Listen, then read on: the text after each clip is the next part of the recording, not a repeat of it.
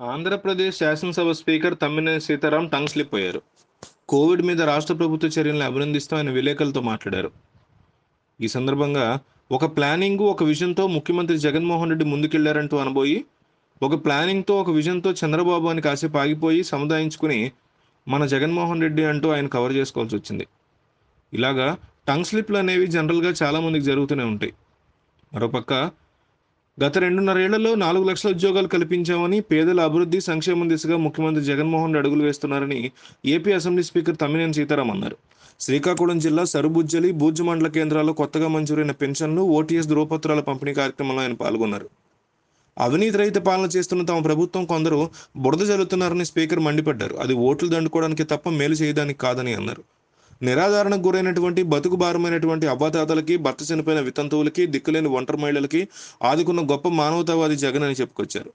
ప్రజా సంకల్ప యాత్రలో ఇచ్చిన మాటల ప్రకారం విడతల వారీగా పెన్షన్ పెంచుతున్నట్లుగా తెలిపారు. ప్రభుత్వం చేస్తున్న అభివృద్ధిని ఓర్వలేక చూడలేక కొంతమంది చేస్తున్న విష ప్రచారాలు నమ్మొద్దని ఆయన సూచించారు. గతంలో పెన్షన్ కోసం నాయకుల చుట్టూ అధికారుల చుట్టూ తిరగాల్సి వచ్చేదని కానీ నేడు అలాంటి పరిస్థితి లేదని తమ్మినేని అన్నారు. ఓటీఎస్ పథకం మీద కొందరు అవగాహన లేకుండా తప్పుడు ప్రచారాలు చేస్తున్నారని ఆయన తీవ్ర వ్యాఖ్యలు చేశారు. ఆంధ్రప్రదేశ్లో నూతన జిల్లాల ఏర్పాటు శుభపరిణామని ఏపీ అసెంబ్లీ స్పీకర్ తమ్మినేని అన్నారు. ఈ సందర్భంగా ఆయన మాట్లాడుతూ జిల్లా వివిధ కేంద్రాలకు సంబంధించిన వలన ప్రజలకు మరింత మేలు కలుగుతుందని అన్నారు. చారిత్రక నేపథ్యంలో ప్రాముఖ్యుడు సృష్టించినటువంటి పెట్టుకునే ప్రభుత్వం కొత్త జిల్లాలకి నామకరణం చేయడం అభినందనని చెప్పుకొచ్చారు. మన దేశం అనేక అంతర్గత బహిర్గత సవాళ్ళను ఎదుర్కొంటోందన్నారు. దేశంలో మూడో వేవ్ కారణంగా భారీగా ఉందని ప్రజలు అప్రమత్తంగా ఉండాలని ఆయన కోరారు. సీఎం జగన్మోహన్ రెడ్డి నాయకత్వంలో రాష్ట్ర ప్రభుత్వం కరోనాను సమర్థవంతంగా ఎదుర్కొంటోందన్నారు.